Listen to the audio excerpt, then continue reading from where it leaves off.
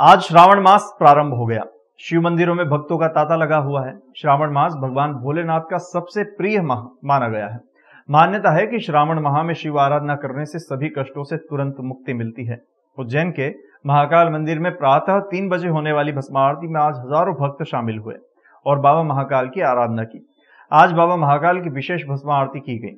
विश्व प्रसिद्ध महाकालेश्वर ज्योतिर्लिंग में आज श्रावण मास के पहले दिन आस्था का जन सैलाब उमड़ा हुआ है। यहाँ प्रतिदिन सुबह तीन बजे होने वाली भस्मा आरती श्रावण मास में होने के कारण विशेष रही। भस्मा आरती में हज़ारों श्रद्धालुओं ने शामिल होकर बाबा के दर पर माथा टेका। आज महाकालेश्वर मंदिर के पट प्रातः तीन बजे खोले गए और बाबा महाकाल का जल से स्नान कर पंचामृत अभिषेक किया गया। इसके बाद बाबा को भस्म रमाई गई।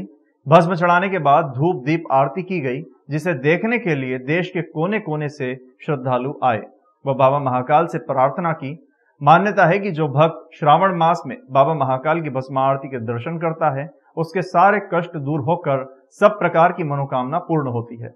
इसी कारण हर भक्त की यही कामना है कि श्रावण मास में बस एक बार भस्म आरती के दर्शन हो जाए। और इसी आस्था के साथ देश के कोने कोने से भक्त बाबा महाकाल के दरबार में आते हैं।